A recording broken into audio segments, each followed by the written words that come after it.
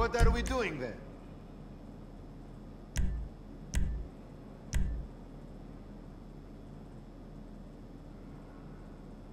Okay, have fun!